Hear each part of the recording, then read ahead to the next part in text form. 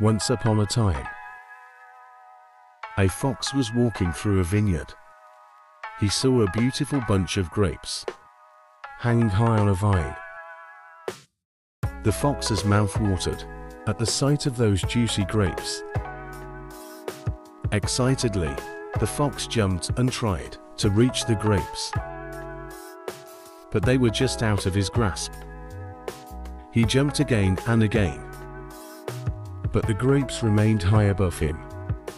After several unsuccessful attempts, the fox gave up and walked away. As he left, he muttered to himself, those grapes are probably sour anyway. I didn't want them. And so, the fox convinced himself that the grapes were not worth his effort.